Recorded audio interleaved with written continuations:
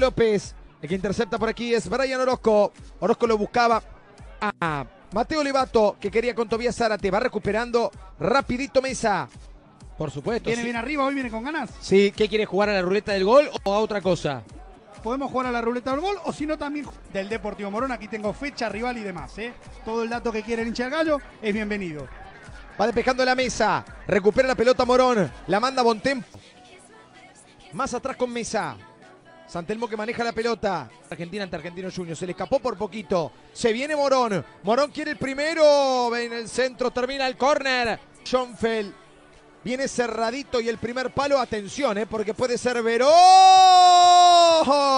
Justo Mesa. Lo buscaron a Verón. Bontempo. Largo ahora buscándolo a Mateo Livato. Levato, encara Levato, la pierde Levato. Ramiro López de primera. A Mateo Levato y después Orozco, que también tenía que haber buscado el pase filtrado. Decidió rematar y no lo hizo bien. Va cortando mesa. Eh, a Broshi. A campo del candombero. La aguanta Levato contra la raya. Gana mesa. Valor. López con Toledo. Toledo para mesa.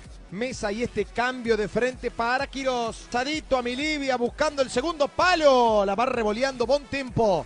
Y despeja la pelota. Corre Levato. Gana Mesa. Se la lleva Orozco. Toledo. Verón. Abacia. Mesa que despeja. Aprovecho para agradecer.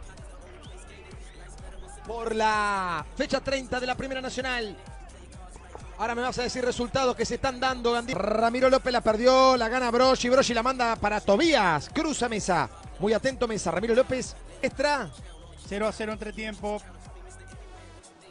No Mesa que despeja. Ya lo sé. No, no, le digo.